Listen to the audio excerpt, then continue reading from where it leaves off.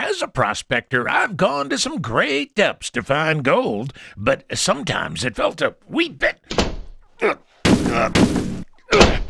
risky.